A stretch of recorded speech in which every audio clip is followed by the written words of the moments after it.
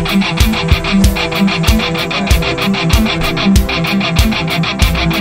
you.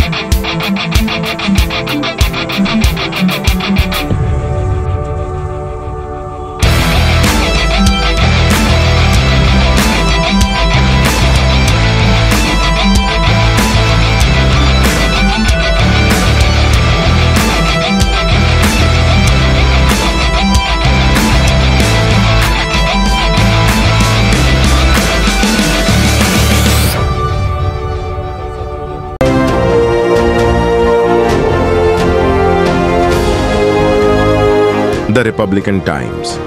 खबर ही नहीं, विश्लेषण भी।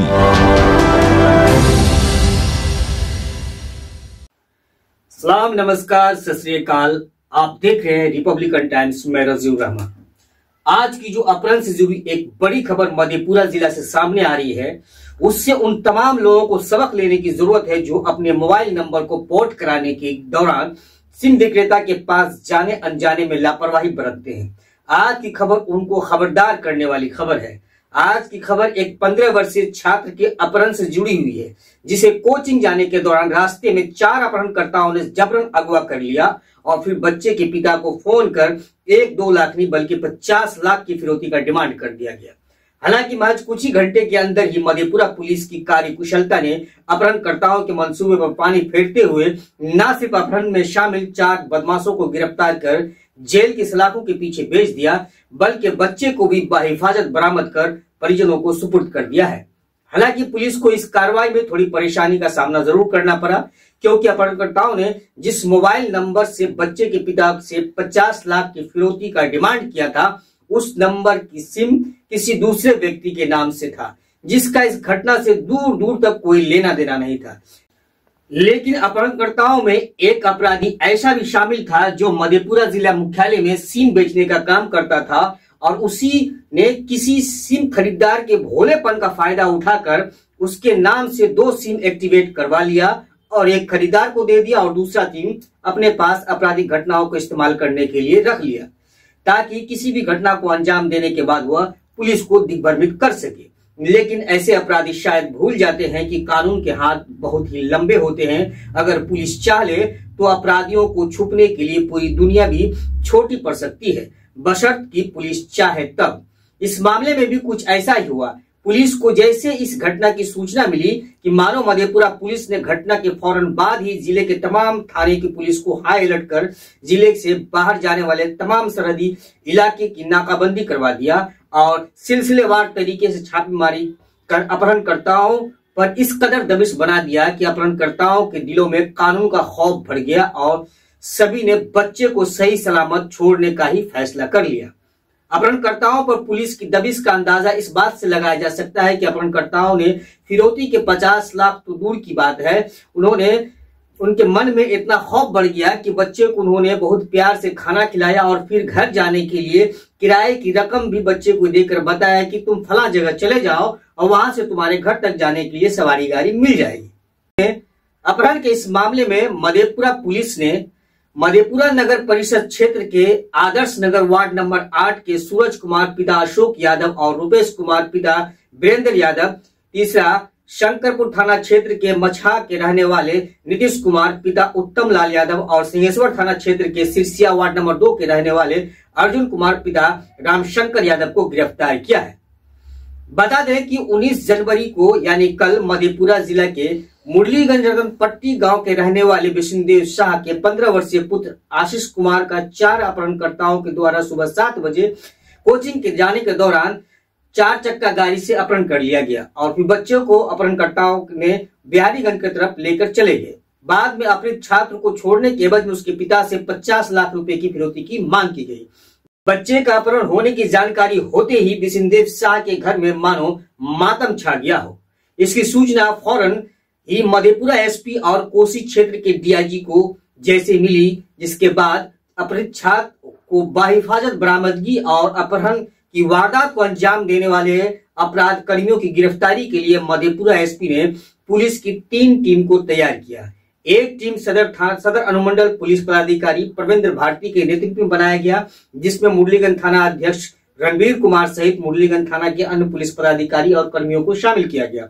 इसके अलावा दूसरी team deputy superintendent of police Alok Kumar के नेतृत्व में गठित की गई, जिसमें सदर थाना अध्यक्ष जयप्रकाश चौधरी उदा किशनगंज थाना अध्यक्ष राजकिशोर मंडल, शंकरपुर थाना अध्यक्ष रोशन कुमार, बिहारीगंज थाना अध्यक्ष अमित रंजन मिश्रा सहित सदर थाने की पुलिस को शामिल किया गया।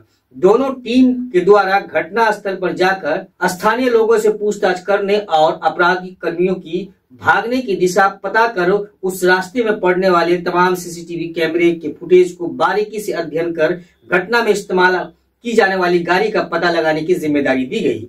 वही तीसरी टीम टेक्निकल सेल के कर्मियों के नेतृत्व में तैयार की गई, जिसमें इस, जिन्हें इस घटना के उद्भेदन के लिए तमाम तकनीकी साक्ष्यों को इकट्ठा करने की ज़िम्मेदारी दी। टीम में शामिल तमाम पुलिस पदाधिकारियों को कुछ सटीक सूत्र हाथ लग गए और सटीक सूत्र के आधार पर पुलिस ने अपहृत बालक आशीष कुमार की बरामदगी बीती रात लगभग 9 बजे सदर थाना क्षेत्र के बुधवा के पास से की और इस घटना में संलिप्त चार अपहरणकर्ताओं की गिरफ्तारी भी पुलिस ने किया। बहरहाल, इस मामले में मधेपुरा एसपी राजेश कुमार ने बताया कि इस घटना में कुछ और भी अपराध कर्मी चिन्हित हुए हैं, जिनकी गिरफ्तारी के लिए टीम के द्वारा लगातार छापेमारी की कार्रवाई की जा रही है और बहुत जल्द ही बाकी बचे अपराध कर्मी भी जेल की सलाखों के पीछे होंगे। एसपी ने बताया कि अपहरण की इस घटना के घटना का मधेपुरा पुलिस के द्वारा महज 12 घंटे के अंदर ही सफलतापूर्वक उद्भेदन कर लिया गया है जो मधेपुरा पुलिस के लिए एक बड़ी कामयाबी है। इसलिए इस घटना के उद्भेदन में लगे सभी पुलिस पदाधिकारी और पुलिस कर्मियों को पुरस्कृत करने के लिए कोसी रेंज के डीआईजी से अनुशंसा की गई है। कहाँ रहा हम तो पूरा ही ये बताइए बड़ी उपलब्धि है। अपहरित बच्चे बरामद हो गए सकुशल और चार गिरफ़्तार भी हुए सर, क्या मामला है? कल 19 तारीख की सुबह मुरलीगंज थाना अंतर्गत रतनपट्टी गाँव के विष्णुदेव शाह के पुत्र, पंद्रह वर्षीय पुत्र हैं, आशीष कुमार, ये प्रतिदिन की तरह कल भी ट्यूशन के लिए जा रहे थे। अचानक से पीछे से एक गाड़ी आया और ये तीन लड़के के साथ में थे। और इनका नाम पूछ करके कि आपका नाम आशीष कुमार है तो बोला कि हाँ उसके बाद इनको ज़बरदस्ती गाड़ी पर बिठा करके बिहारीगंज की तरफ़ लेकर के भाग गया उसके बाद में इनके साथ जो बच्चे थे, वो घर वालों को आकर के बताया कि ऐसी ऐसी घटना हुई है। फिर घर वालों को करीब ग्यारह बजे के आसपास में फ़ोन कॉल आता है कि आपका बच्चा हमारे पास में पचास लाख रुपया फुरौती के रूप में हमें दीजिए। तब आपका बच्चा को हम लोग छोड़ेंगे, अन्यथा अंजाम बुरा होगा। उसके बाद इनके घर वाले घबरा गए और हमें भी फ़ोन करके बताया, थाना को भी अविलंब सूचना मिला। हम लोग को जब जानकारी हुई इस घटना की तो मैं अपने डीआईजी सर को इस संबंध में बताया कि एक अपहरण की घटना की सूचना मिल रही है। उन्होंने भी अपने स्तर से दिशा निर्देश दिए और उनके दिशा निर्देश के अनुसार मेरे द्वारा अनुमंडल पुलिस पदाधिकारी परवेंद्र भारती जी के नेतृत्व में एक टीम का गठन किया गया, जिसमें एस एच मुरलीगंज को रखा गया। और इन्हें बताया गया कि आप अविलंब जाकर के पूरे घटना का पड़ताल कीजिए। क्या क्या घटना हुआ है कौन सी गाड़ियाँ यूज़ हुई है, भागने की अपराध कर्मियों की क्या दिशा है, उसके संबंध में हुलिया अगर पता चले तो वो सब पता कीजिए और फिर इसका उद्भेदन होना चाहिए अपीड़ित की सकुशल बरामदगी होनी चाहिए, और जो इसमें संलिप्त अपराध कर्मी उसकी भी गिरफ्तारी होनी चाहिए। सभी लोगों ने तत्परता पूर्वक अपना काम शुरू किया। शुरू में तो कुछ मिसलीड भी हम लोग हुए। जो बच्चे वहाँ पे गाड़ी को देखे थे, उसका नंबर भी उन्होंने बताया। तो उस नंबर पे हम लोगों ने पहले काम करना शुरू किया तो वो नंबर भागलपुर का एक गाड़ी का निकला, जो कि टियागो गाड़ी था टाटा का। फिर उसके मालिक के घर पे तुरंत भागलपुर पुलिस से संपर्क करवा करके वहाँ पर रेड करवाया गया। तो पता चला कि वो गाड़ी तीन साल पहले ही बिक चुकी है और वर्तमान में वो गाड़ी पटना शोरूम में पड़ी हुई है। फिर वहाँ से उसका फ़ोटो खींच करके हम लोग को भेजा गया। तो हम लोग लगा कि नहीं, हम लोग गलत डायरेक्शन में चले गए हैं। ये गाड़ी वो है नहीं। बच्चे लोग जो नंबर बता रहे हैं, कुछ गलत नंबर उन्होंने बता दिया। फिर हम लोग अपने स्तर से इसमें काम आगे बढ़ाए और अपने टेक्निकल सेल को इन्वॉल्व किए। और साथ ही हमारे इंस्पेक्टर सुरेंद्र प्रसाद जी और परिश्रमान हमारे डीएसपी आलोक कुमार जी इन लोगों को घटनास्थल पर भेजा गया और बोला गया कि वहाँ के लोगों से आप पूछताछ कीजिए। और जो भागने की दिशा जो है गाड़ी का, उस रास्ते में जितने भी सीसी फुटेज मिलते हैं, सभी का बारीकी से आप अध्ययन कीजिए और उस गाड़ी को आइडेंटिफाई कीजिए, वो कौन सा गाड़ी है। वो लग गए उन लोग भी अपने काम में लग गए, हमारे टेक्निकल सेल भी अपना काम में लग गया और इन लोगों के संयुक्त प्रयास से जो कुछ सूत्र हमें मिला, उस सूत्र के पे आगे काम करने के लिए मैंने फिर से एक नया टीम बनाया, जिसमें थानाध्यक्ष मधेपुरा जयप्रकाश चौधरी, थानाध्यक्ष उदा किशनगंज राजकिशोर मंडल थानाध्यक्ष शंकरपुर, रोशन कुमार, थानाध्यक्ष बिहारीगंज, अमित रंजन मिश्रा, ये सभी को मिला करके एक टीम को गठन किए तत्काल और इनको लीड पे जो सूत्र मिला था उस पर काम करने के लिए लगा दिया गया। इन लोगों ने बड़ा सक्रियता से, तत्परता से अपने काम को किए और इनके प्रयास से रात में नौ बजे अपहृत बालक की सकुशल बरामदगी हुई बुधवा के पास में। और इसमें संलिप्त चार लोगों की गिरफ्तारी भी हो चुकी है। एक्चुअल में जो पुलिस का जो दबिश पड़ना शुरू हुआ और उसमें एक दो जो उठ गए बहुत जल्दी से तो घबरा करके जो भी अपराध कर्मी बच्चे को रखे हुए थे इनको छोड़ दिए बुधवार के पास। और मज़े की बात यह है कि इन लोग पचास हज़ार की फिरौती की मांग कर रहे थे लेकिन इतने घबराहट में वो लोग आ गए कि पचास हज़ार लेना भूल करके उल्टे बच्चे को दस रुपया दिए कि तुम जल्दी से दस रुपया पकड़ो, तुम्हारे पास पैसा नहीं है टेंपो पकड़ के चल जाओ घर, नहीं तो पुलिस हम लोग को पकड़ ले लेगी वो बच्चा दस रुपया लेकर के वहीं पे एक पान दुकान वाले के पास गया और इसको घर वाले का नंबर पता था, वहाँ से उनका फ़ोन से फिर बताया। सारी बात को फिर हम लोगों को सूचना मिली तो हमारी टीम जाकर के तुरंत इस बच्चे को सकुशल वहाँ से ले आया। और फिर बच्चे ने भी सारी बातें बताई। हम लोग जिस लाइन पे काम कर रहे थे वही लाइन सामने आया है। अभी इस घटना में कुछ लोग बचे हुए हैं। उसके गिरफ्तारी जो अपराधी गिरफ़्तार हुए कहाँ से हुए हैं? ये सभी मधेपुरा से ही गिरफ़्तार हुए हैं।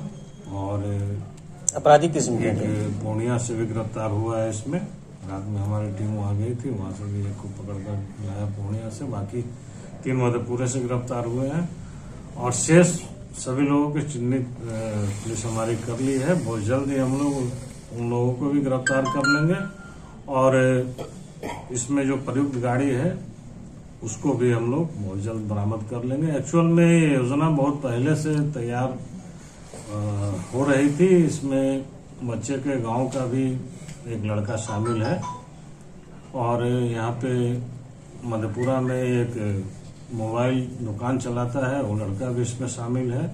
ये सभी लोग मिलकर के पिछले दस दिनों, बीस दिनों से इसकी तैयारी कर रहे थे और फर्जी सिम वगैरह सब निकाल करके इसी काम के लिए इन्होंने फर्जी सिम निकाला था और उसी का प्रयोग इस घटना के बाद से उन लोग कर रहे थे कि ताकि पुलिस गुमराह हो जाए। लेकिन हमारी जो टेक्निकल सेल है, बड़े बारीकी से बातों को पकड़ा और सही निशाने पे हमारे पुलिस काम की और तत्पश्चात परिणाम स्वरूप इस घटना का हम लोग 12 घंटे के अंदर में उद्भेदन कर लिए हैं। जो गिरफ़्तार हुए हैं क्या उन पर पहले से ही आपराधिक कोई है इतिहास? अभी हम लोग उसकी छानबीन कर रहे हैं। वैसे वो अपराधी छवि के ही सारे लोग हैं जितने चिन्हित हुए हैं और सभी अपराधी छवि के ही हैं। पहले से जेल गए हुए लोग हैं। और जो प्लानिंग करने वाला जो है लड़का वो पढ़ने वाला लड़का है। जो इन्हीं गाँव का है। और उसी के सारे निशाने, निशानदेही पे मतलब उसी के कहने पे, जो अपराध छवि के लोग थे, वो लोग सब इकट्ठा हुए और पूरा, ये बीस दिन पहले ही इस घटना की पृष्ठभूमि इन्होंने तैयार किया था मधेपुरा में जो इस घटना में शामिल टीम है क्या इस शामिल टीम के लिए हम अपने डीआईजी सर से अनुरोध किए हैं और इन लोगों को पुरस्कृत करने के लिए अपने स्तर से ही हम अपनी यहाँ से अपनी अनुशंसा भेज रहे हैं। डीआईजी सर इस टीम में शामिल सभी पुलिसकर्मियों को पुरस्कृत करेंगे।